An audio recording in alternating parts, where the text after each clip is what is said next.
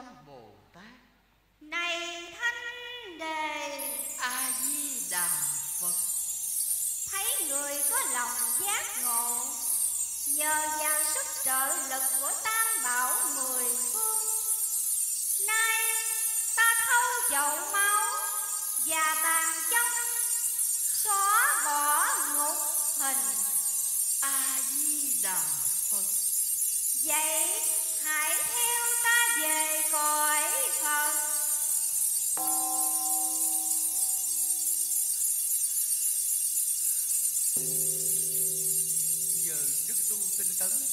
Một kiền liên đã cứu được mẹ và củ quyền siêu sinh cực lạc. Đời đời an vui, Ngày đêm công phu thiền định. Tôn giả một kiền liên đã đạt được thần thông đệ nhất, Thoát khỏi dòng luân hồi chính quả vô sanh. Cảm, với tấm lòng hiếu hạnh của tôn giả một kiền liên Đức Thế Tôn vì đó mà viết kinh Du Lan Bồn. Là ngày xá tội vong nhân, cũng là ngày Du Lan báo hiếu. Làm một người con hiếu thảo, Luôn tâm hướng thiện Và tinh tấn tu hành. Noi gương tôn giả một kiền liên, Mãi mãi sáng soi Trong cõi ta bà.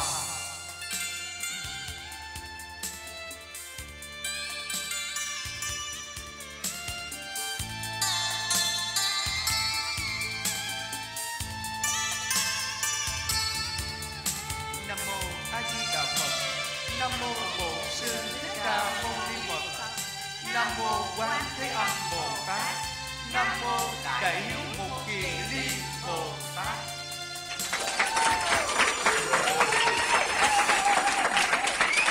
Kính bạch chư tôn đức tăng ni cùng toàn thể quý vị Phật tử kính mến, à, có thể nói rằng là à, chúng ta cảm nhận rất là nhiều cái tình cảm của ngài Mục Kiền Liên dành cho mẹ của mình và chính vì tấm lòng của ngài đối với mẹ muốn cứu mẹ ra khỏi địa ngục cho nên chúng ta đã có ngày đệ lễ Vu Lan.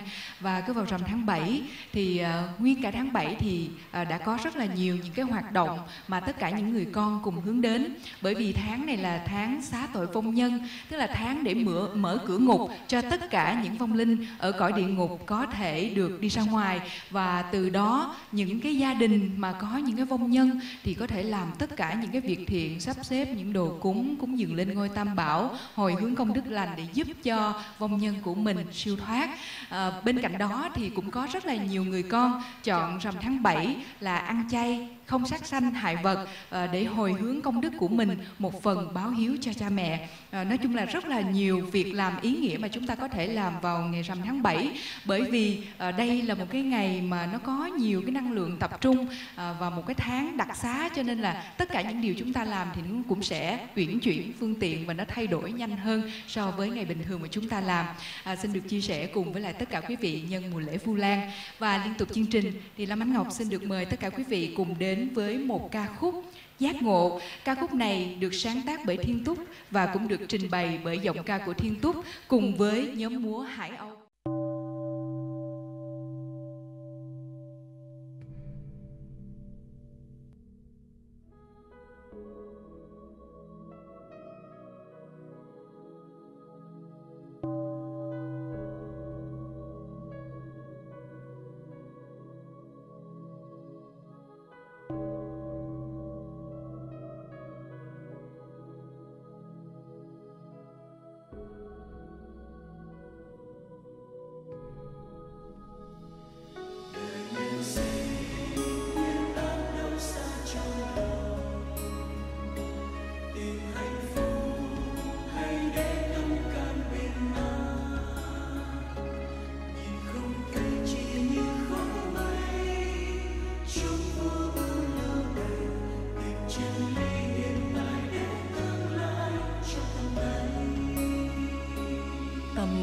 Đoan lòng tham lời danh giữa cõi trần. Không thể đo được đâu hai chữ thiên nhân tâm hờn ghen chìm sâu khổ đau giữa cõi mộng. Sao thể so với hữu duyên ân tình vị tha? Thù hận kia không bớt đi bao ưu phiền sầu bi ai, chỉ khiến yêu thương mờ phai. Ngộ chân lý lìa xa bén mê, luyến lưu chỉ vô thường. Đường hạnh phúc tìm về cõi thiên tai, không hiểm nguy.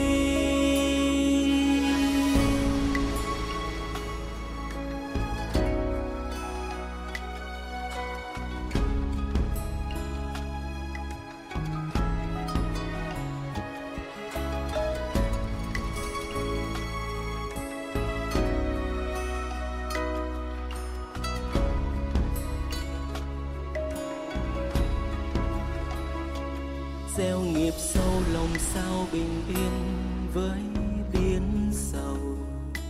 Oan hiểm oan trên miền muôn kiếp trăm luân. Vui buồn trong trần gian thực hư cũng trong tàn.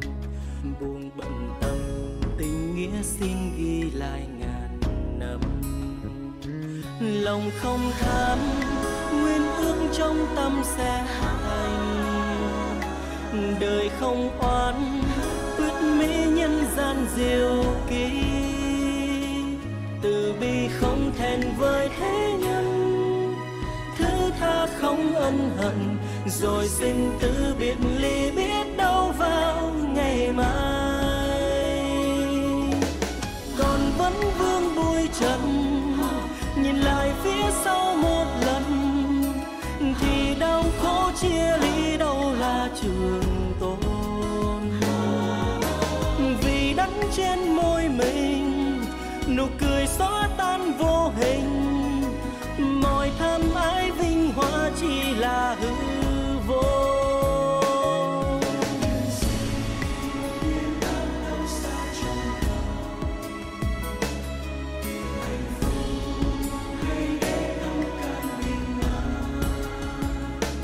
Dù mênh mong đường chân quá xa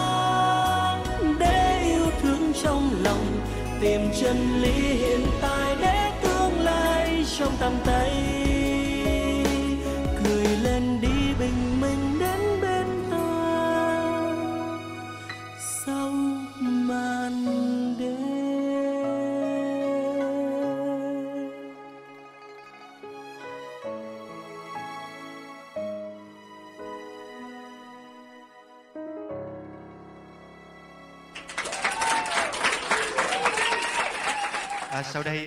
Xin mời tất cả quý vị và các bạn chúng ta cùng gặp gỡ với sự xuất hiện đặc biệt trong chương trình buổi tối ngày hôm nay. À, Tấn Hưng xin mời tất cả quý thầy, quý sư cô, quý vị Phật tử và tất cả quý vị khán giả chúng ta cùng à, đến với sự góp mặt đặc biệt của một nữ ca sĩ với một giọng hát vượt thời gian, một giọng hát rất nồng nàn và tình cảm được khán giả trong nước cũng như là khán giả tại hải ngoại yêu mến trong suốt nhiều thập niên vừa qua. Thưa quý vị, chúng ta cùng chào đón sự xuất hiện đặc biệt nữ ca sĩ nhạn trắng gò công Phương Dung.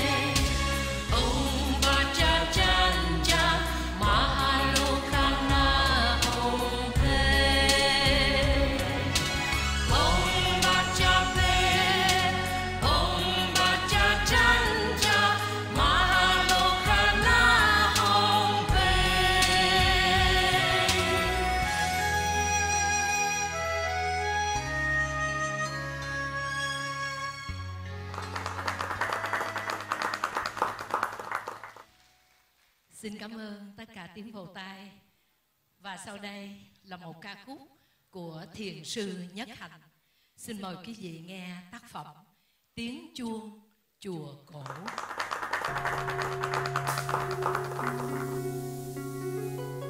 Ba nghiệp lặng thân tình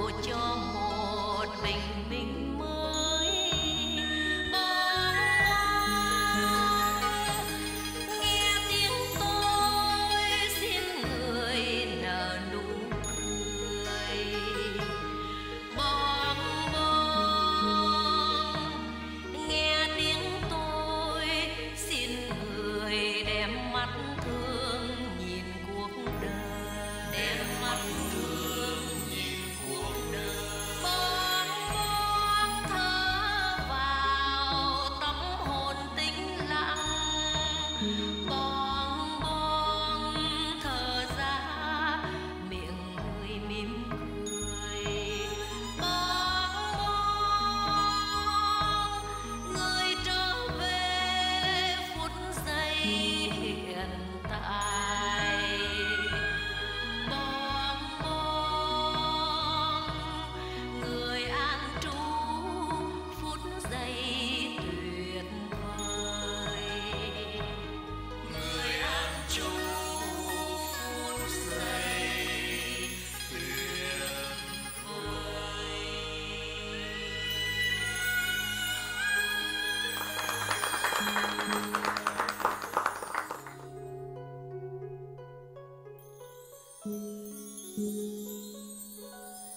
được biết cô cũng là một phật tử với pháp danh là như hạnh, có đúng không ạ? Xin một lần nữa dành một tràng pháo tay thật nồng nhiệt cho cô với những cái đóng góp của cô cho nền âm nhạc của chúng ta. Xin cảm ơn cô, cảm ơn thầy rất là nhiều.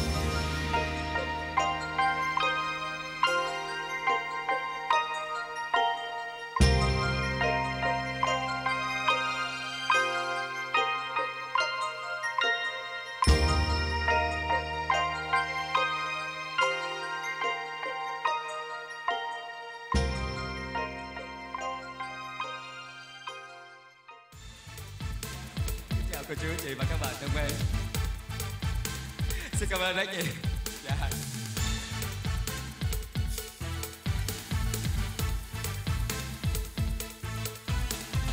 Dạ cho hỏi ở đây có ai ở quê cà mau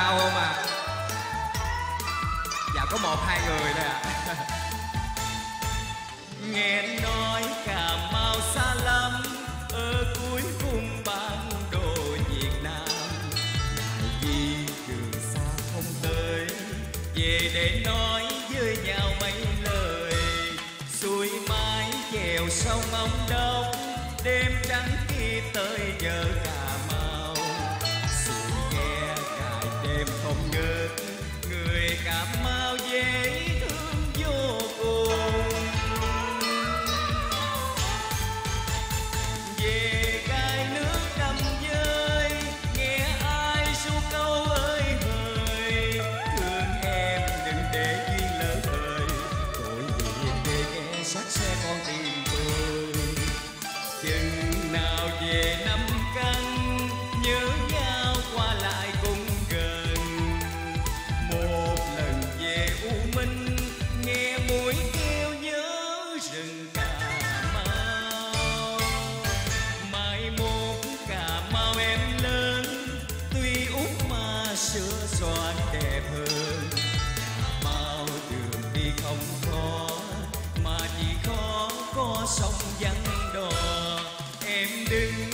đứng môn hương duyên dáng mời khách lạ ngàn phương. Mau mặc thêm áo mới về cà mau là thấy thương em rồi.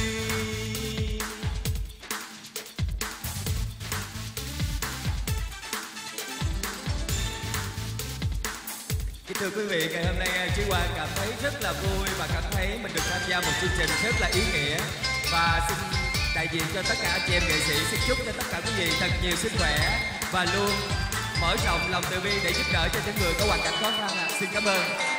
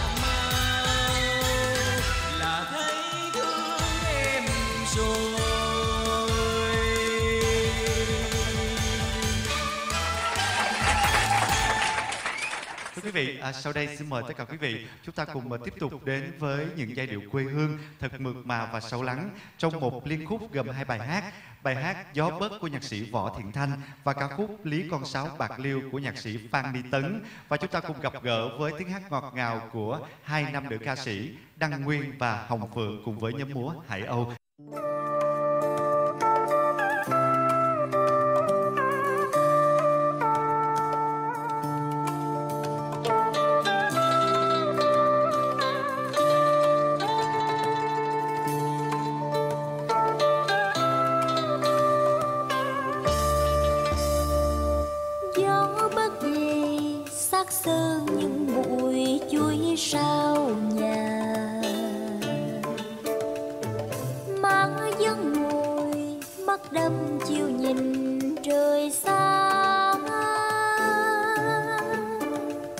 cơn gió lao xao mãi hiền.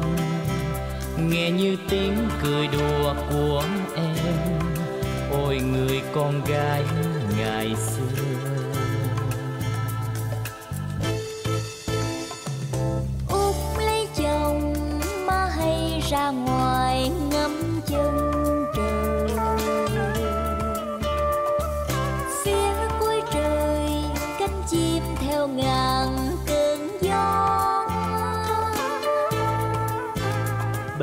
Sớm vọng về tiếng ca. Giọng ai hát đều buồn xót xa.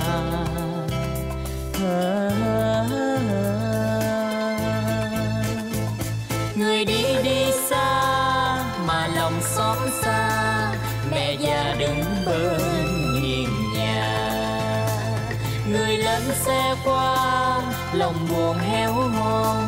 Mẹ già tiếng con lệ rơi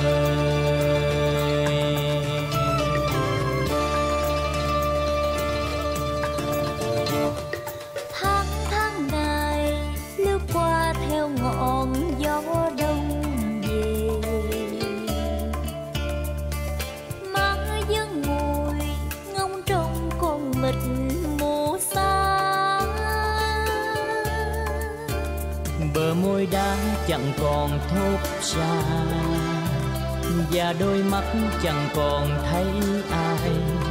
Trăng tàn theo bóng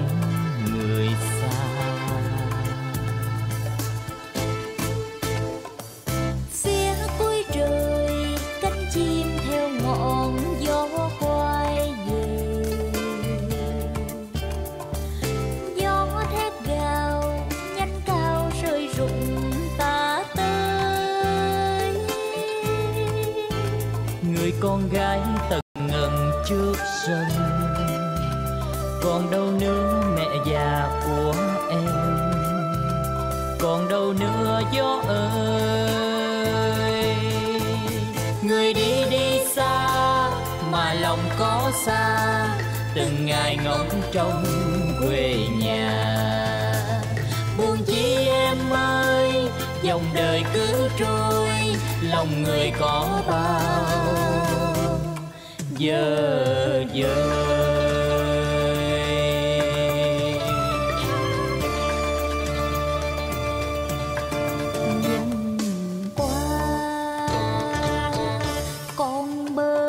mong chờ. Chìm trong mịt mờ sương lạnh về đâu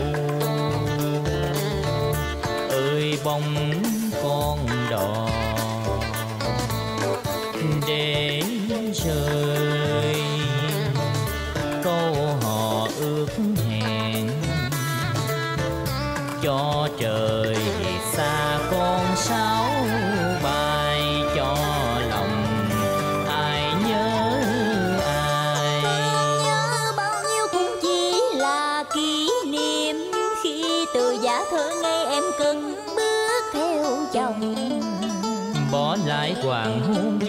khói đốt đồng. Bỏ bến sông xưa lạnh lùng trong gió bất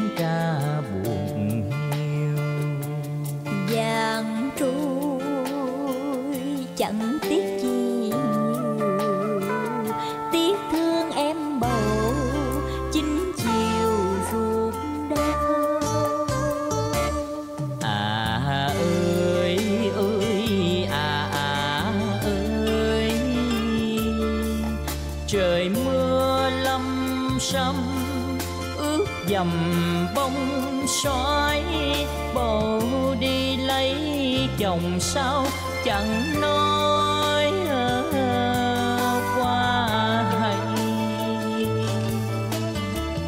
Do đưa con sậu lên bờ bù non bù nước khóc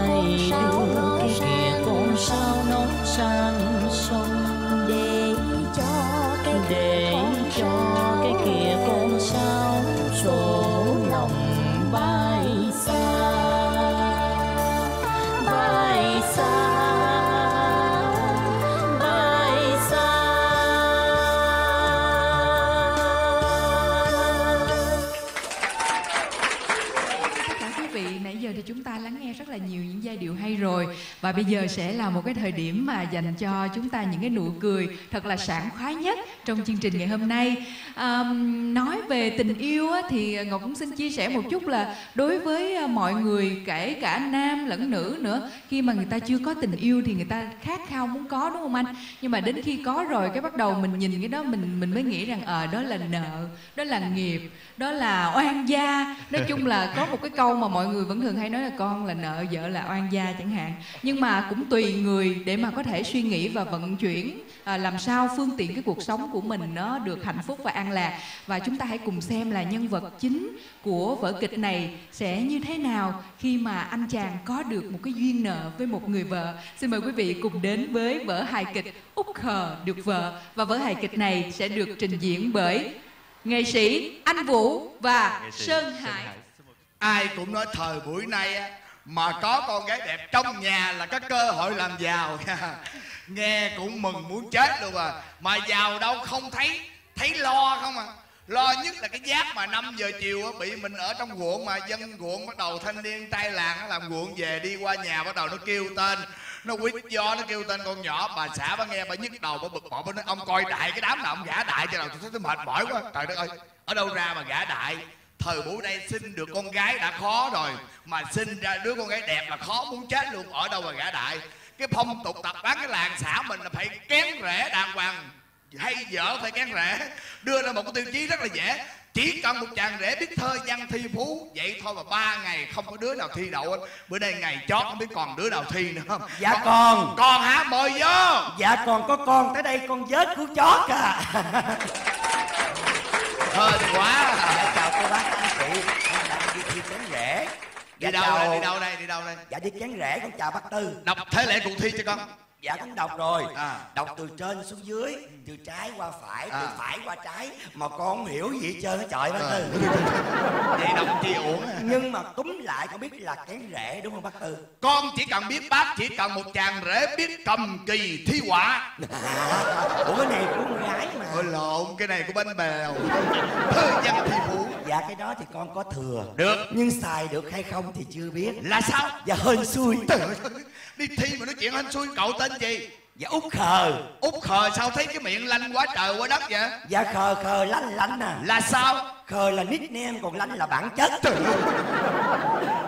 Bắt đầu tôi diễn thằng này này nha thuộc truyện kiều không con? Dạ thuộc. Đọc hai câu đầu bác nghe.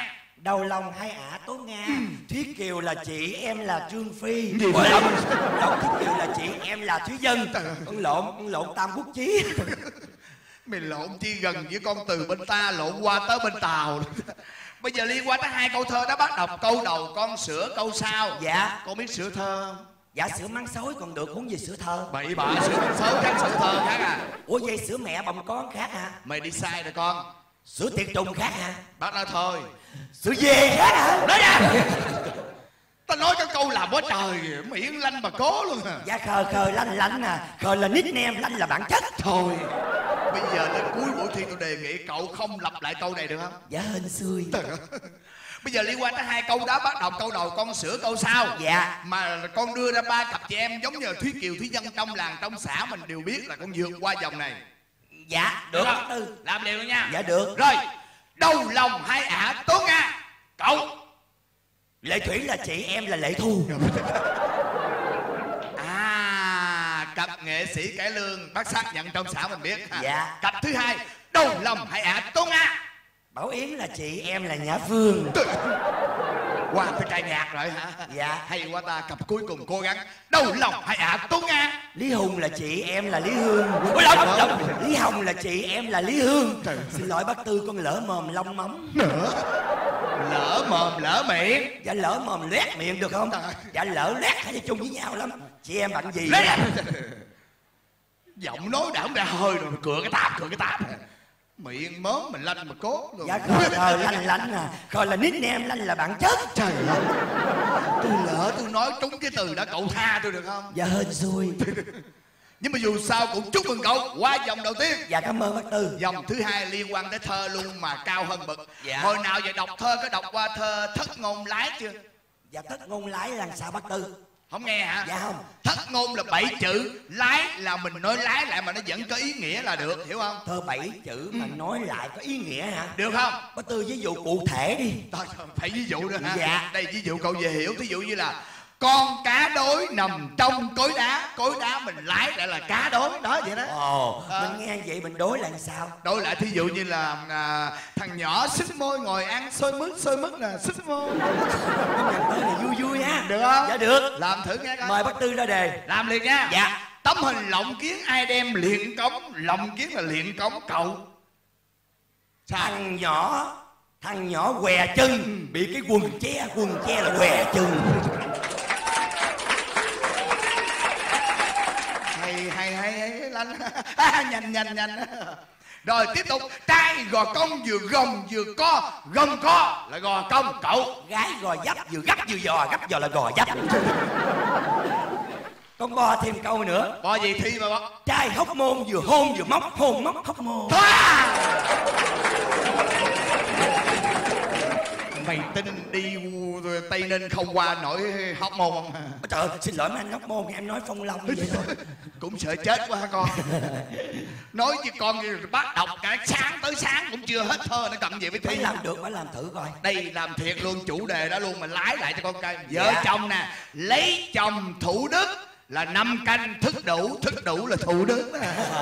lấy chồng hải dương suốt đời hưởng dài luôn hưởng giai là hải dương hả? đó quá dễ luôn à. Thôi này nghe vui tai thiệt cái làm được không? Dạ được chứ. Chủ đề này luôn coi.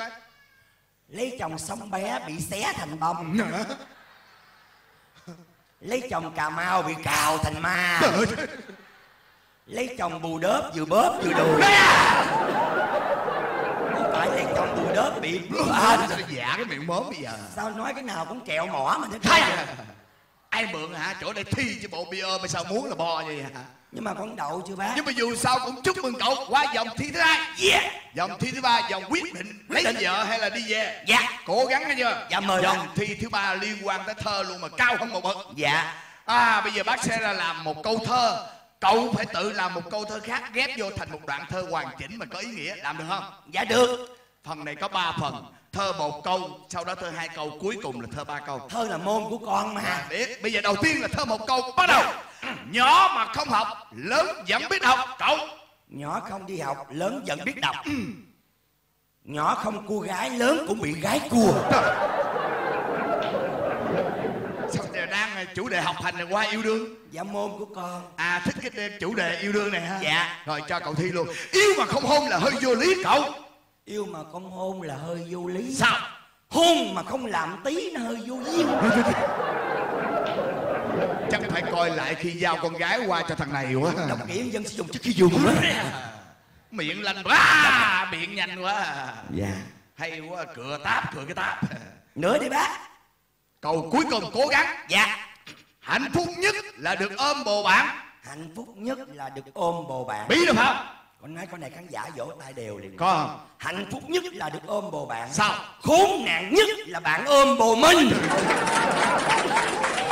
Tình hình chung tình hình chung. Vô sở trường của nó rồi. Bây giờ qua thi thơ hai câu. Dạ. Nói về tình cảm anh em. Dạ. Anh em như thể tay chân như xương dính thịt như cây dính cành cậu. Anh em như thể trẻ chơi xưa đến thịt như cây dính cành. Sao? Anh em ta. Cho lên chứ. Anh em ta không có gì xa cách. Được. Chỉ có hối nách mới xa cách anh em. Thơ người ta ta gieo dần mày, mày gieo mùi vô luôn con là sao dạ con cho nó thi vị nó nên thơ. Rồi tốt lắm bây giờ qua thơ ba câu. Dạ. Nhưng mà trước khi thi thơ ba câu bác hỏi con câu coi dạ. Con rành về hoa không con? Dạ rành con dân ruộng mà rành về hoa lắm. Hiểu sao về hoa? Những gì đẹp đẽ tinh khiết trong trắng thanh tao là ở hoa hết. Trời ơi. Hay quá. Mà nói nói thì hay lắm bây giờ thi nha. Dạ. bác sử dụng một đoạn thơ ba câu nói về một loài hoa. Dạ. con phải tự dùng một đoạn thơ ba câu khác để đối lại cái này gọi là đối thơ. Nhưng mà nhớ phải giữ được ba cái vế trong trắng tinh khiết và thơm tho như hoa mới qua dòng này. Dạ được. Được không dạ. Cho ba giây suy nghĩ. chuẩn Dạ. bị một. Hai. Ba. Bắt đầu. Hoa trắng thì không thơm hoa thơm thì không trắng. Chỉ có hoa lại vừa trắng vừa thơm. Cậu. Địch thúi thì không kêu. Địch kêu thì không thúi. Chỉ có địch xì mới vừa thúi vừa kêu.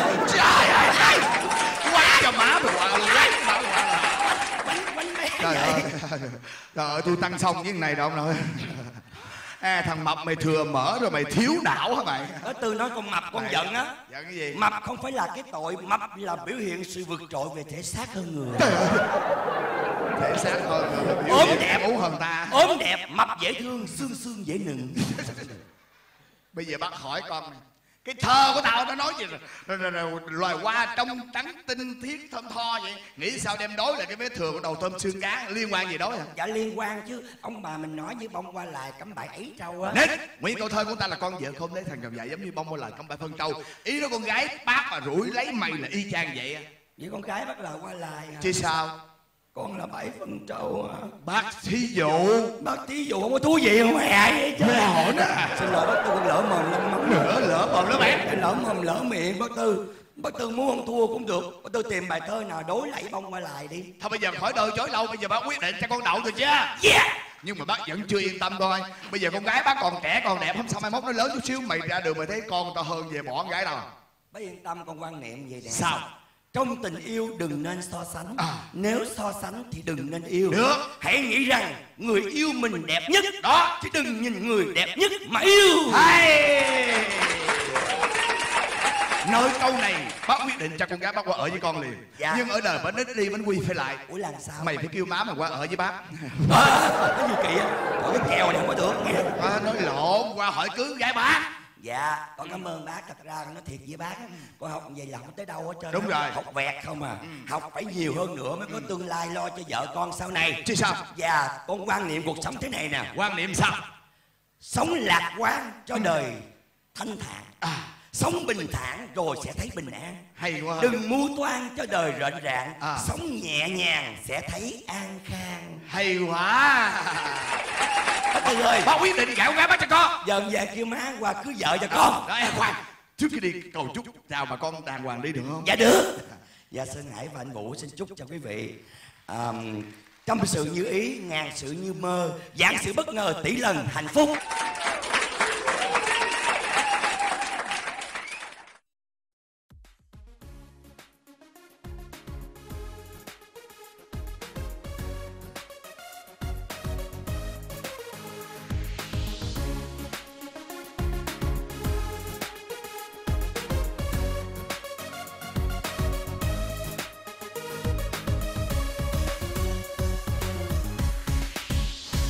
cùng về đây, đồng chung sức đắp xây từ tâm đi giúp cho đời vượt bao cảnh đơn đau nạn tai. Vì lòng từ tâm ta chung tay giúp nhau vượt khó, ta đến bên nhau cùng sát chia nỗi niềm khổ đau. A Di Đà Phật, hôm nay hội từ thiện từ tâm à, đến với chùa Thiền Tôn ở ấp Bánh Bào, à, xã Quách Phẩm Bắc, à, huyện Đầm Dơi, tỉnh Cà Mau phát và trao 200 phần quà cho những à, người khó khăn tại huyện và 25 phần quà cho những à, em à, mồ côi tại chùa. Thì à, qua chí từ thiện xin à, chân thành cảm ơn đến các à, nhà hảo tâm, các mạnh thường quân, các thiện tri thức tòa và toàn thể Phật tử đã hỗ trợ cho hội từ thiện từ tâm trong thời gian qua. À, xin kính chúc à, đưa, gửi lời chúc đến chư tôn thiện thức tăng ni à, pháp thể kinh an chúng sanh vì độ mãi mãi là tàn cái bóng mát che chở cho hàng à, hậu hợp chúng con trên bước đường phụng sự đạo pháp cũng như phục à, vụ chúng sanh và xin hồi hướng phước lực hôm nay có được à, cho đến tất cả à, quý vị Phật tử à, cha mẹ hiền tiền được tăng phước thêm thọ à, người mất thì được à, siêu thăng về miền lạc cảnh. Nam mô a di đà phật. À, xin gửi lời chúc à, thân tâm thượng lạc đến tất cả mọi người. A di đà phật. Giúp những đàn em bé thơ bơ vơ và nâng đỡ đến những cụ già lẻ loi đơn côi. Cùng rừng xây mái ấm tình thương những ai neo đơn giúp thiên tai giúp xây cầu giúp bao đời khó khăn nào cùng về đây, đồng chung sức đắp xây từ tâm đem đến cho đời một niềm tin sống vui bình yên. Vì một ngày mai bao tương lai sáng tươi hạnh phúc, ta nắm tay nhau cùng bước đi trên đường từ tâm cùng từ tâm giúp những đàn em bé thơ bơ vơ và nâng đỡ đến những cụ già lẻ loi đơn côi. Cùng dựng xây mái ấm tình thương những ai neo đơn, giúp thiên tài, giúp xây cầu giúp bao đời khó khăn.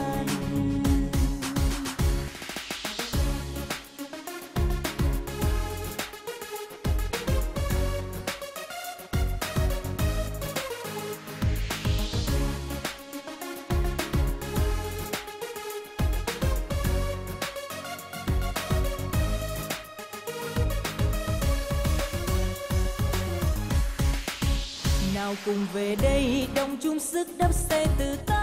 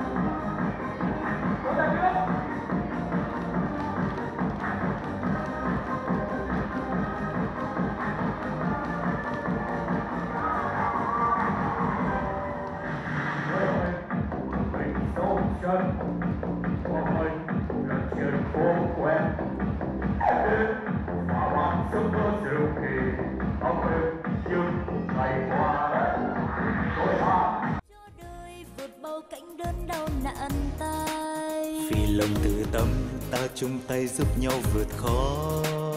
Ta đến bên nhau cùng sớt chia nỗi niềm khổ đau. Cùng từ tâm giúp những đàn em bé thơ bơ vơ và nâng đỡ đến những cụ già lẻ loi đơn côi. Cùng rừng xây mái ấm tình thương những ai neo đơn giúp thiên tai giúp xây cầu giúp bao đời khó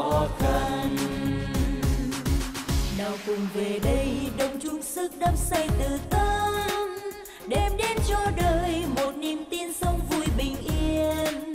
Vì một ngày mai bao tương lai sáng tươi hạnh phúc ta nắm tay nhau cùng bước đi trên đường từ tâm. Cùng từ tâm giúp những đàn em bé thơ bơ vơ và nâng đỡ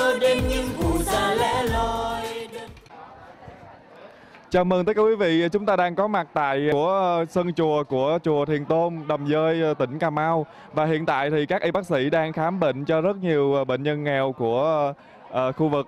Và ngay bây giờ thì Hoàng Hiệp uh, xin được hỏi bác sĩ là uh, tham gia một cái chuyến công tác uh, rất là xa từ Sài Gòn về một cái huyện vùng sâu vùng xa của tỉnh Cà Mau như vậy thì bác sĩ khám bệnh cho người nghèo có những cái cảm xúc gì có thể chia sẻ với tất cả quý vị ở đây? À, cái cuộc khám bệnh á Ờ, thì ờ, đi rất là xa xôi này kia nhưng mà khung cảnh đẹp. Và là chùa rất là tươm tất nấu nướng ăn uống đầy đủ. Và bệnh nhân đúng đối tượng ai cũng có nghèo ai cũng bệnh. Vậy điều đó tụi này rất là mừng. Tại vì ở ờ, thành, thành phố tụi này đi cung hết trơn nhưng mà trong chuyến này rất đặc biệt đi tắt ráng này vui cái điều nhắn nhủ của tôi đối với tất cả từ bạn trẻ hay trung niên nên để cái tâm lo cho người khác. Giống như chùa mình đó thì tự nhiên cái tất cả cái cuộc sống nó sẽ bình an trở lại và mình cũng thấy vui trước. Mình khám bệnh cho người lo cho người là mình vui trước đi. Rồi cái mới tới cái người đó nhận vui, vui kế tiếp dạ Đó là những lời ờ, hết sức hay của bác sĩ dành cho tất cả quý vị khi mà chúng ta ờ, có cái tâm đặt vào công việc chăm lo cho tất cả mọi người thì ờ, tự động cuộc sống của chúng ta sẽ tốt đẹp hơn. Xin cảm ơn bác sĩ và xin chúc bác sĩ ngày càng có sức khỏe nhiều hơn để chăm lo cho tất cả các đồng bào vùng sâu vùng xa và xin cảm ơn chương trình đã tạo điều kiện cho chúng tôi thực hiện chương trình này. Xin cảm ơn. xây mái ấm tình thương những ai neo đơn giúp thiên tai giúp xây cầu giúp bao đời khó khăn nào cùng về đây đồng chung sức đắp xây từ tâm, đem đến cho đời một niềm tin sống vui bình yên. Vì một ngày mai, bao tương lai sáng tươi hạnh phúc, ta nắm tay nhau cùng bước đi trên đường từ tâm. Vì một ngày mai, bao tương lai sáng tươi hạnh phúc, ta nắm tay nhau cùng bước đi trên đường.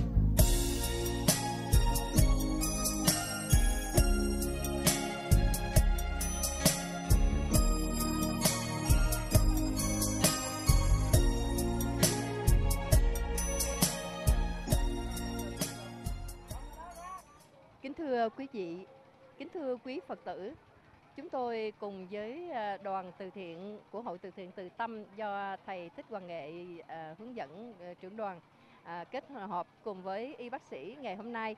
Chúng tôi có mặt tại ấp Bến Bào, xã Quách Thẩm Bắc, huyện Đầm Dơi, tỉnh Cà Mau. À, kính bạch thầy Thích Thiện Nguyên. Chúng con hôm nay là một nhóm đoàn Phật tử, văn nghệ sĩ và Phật tử Ờ, đến đây để ờ, cùng làm cái chương trình từ thiện và cùng kết hợp với các y bác sĩ để làm ờ, chương trình khám bệnh cho người nghèo, người dân nghèo ở chung quanh đây.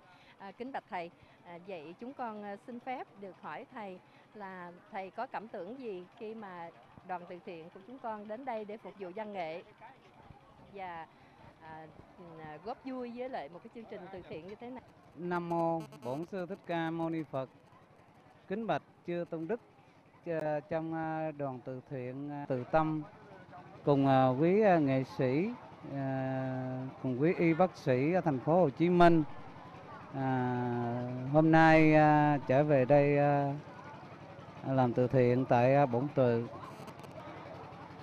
Thầy cũng nói trình với quý vị là trong các huyện chúng ta rất là nhiều rất là nhiều à, hộ khó khăn về kinh tế đời sống còn nhiều nhiều lắm thì nhưng mà được quý vị quan tâm về tới đây là rất là quý thì à, thay mặt toàn bộ chư tôn đức và cảm niệm công đức quý phật tử à, trong phái đoàn chư tôn đức à, rất là nhiều và cầu nguyện hồng an tâm bảo gia hộ cho quý vị pháp thể kinh an chúng sanh dị độ phật sự viên thành à, sau còn phải phục vụ các nơi khác để cho à, dân chúng à, được biết nhiều hơn. Kính thưa tất cả quý vị, à, đứng à, bên cạnh Hoàng Hiệp à, sáng nay chính là nam ca sĩ Đăng Nguyên, là một cái người trong hội từ thiện tư tâm đã tham gia tích cực đóng góp cho chương trình ngày hôm nay. Và xin hỏi anh Đăng Nguyên là khi mà nhìn thấy các y bác sĩ cũng như là đoàn của mình khám bệnh và phát quà cho bà con vào sáng nay thì anh có những cái cảm xúc gì muốn chia sẻ với tất cả quý vị? Kính thưa quý vị, nhìn thấy tất cả các anh chị em nghệ sĩ đồng hành cùng chuyến từ thiện hôm nay và nhìn thấy các y bác sĩ à, khám bệnh cho người dân nghèo, thấy ai cũng có một niềm vui trên nụ cười thì à, Đăng Nguyên cũng thấy lòng mình ấm lại. À, qua chương trình này à, mong quý vị à, hãy à, hướng về hội từ thiện từ tâm. À, nếu ai có lòng thì à, góp một ít, ai à, à, ai có nhiều thì góp nhiều, ai có ít thì góp ít để à, chúng tôi càng ngày càng đi đến những vùng sâu vùng xa để phát cho những bà con nghèo để có cuộc sống ấm no hơn. À, và cảm ơn à, tất cả những à, anh chị em nghệ sĩ à, đã đồng hành cùng chúng tôi trong chuyến này.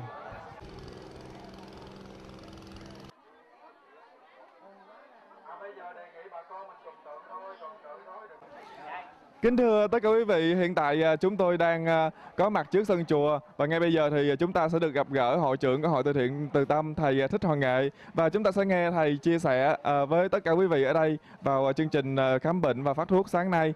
Con xin chào thầy. Thầy có thể cho tất cả quý vị khán giả xem đài được biết là sáng nay chúng ta có những cái công tác từ thiện nào không ạ? Dạ. A Di Đà Phật, giờ sáng nay hội từ thiện Từ Tâm đã đến đập dơi thì có phục vụ là hai 200 phần quà cho các hộ gia đình có hoàn cảnh khó khăn và đoàn y bác sĩ thành phố Hồ Chí Minh cũng khám chữa bệnh ờ, ờ, trên 300 người và 25 phần quà cho trẻ em tại chùa.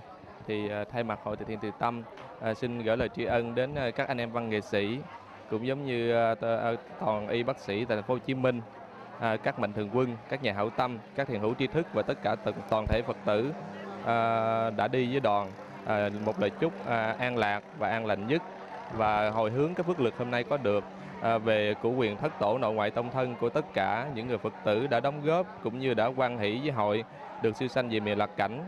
Còn cha mẹ hiền tiền được tăng phước thêm thọ và một lời nói cuối cùng là cho chúc tất cả mọi người thân tâm thường an lạc vạn sự kiết tường như ý a di đà phật Cũng nhân dịp này, uh, thay mặt cho Hội từ thiện từ tâm, thay mặt cho tất cả bà con ở vùng sâu vùng xa, xin được uh, cảm ơn tất cả tấm lòng của các nghệ sĩ đã đóng góp, cũng như là tất cả các mạnh thường quân và các nhà hảo tâm đã đóng góp chương trình ca nhạc tại phòng trà Nam Quang vừa qua. Và sắp tới thì ờ, chúng tôi có một chuyến làm công tác xã hội tại tỉnh Trà Vinh và hy vọng rằng tất cả quý vị sẽ cùng đồng hành với chúng tôi trong chương trình sắp tới. Xin cảm ơn tòa tỏa ngát nhân gian. Lại phật quán âm, dìu con qua bên mê đời. Cho con được sống đời an vui, cho con được sống đời xinh tươi. Quan âm cứu khổ quan âm cứu nạn đời con rạng ngời. Cho con được sống đời an vui cho con được sống đời xinh tươi. Quan âm cứu khổ quan âm cứu nạn đời con rạng ngời. Cho con được sống đời an vui, cho con được sống đời xinh tươi. Quan âm cứu khổ quan âm cứu nạn đời con rạng ngời.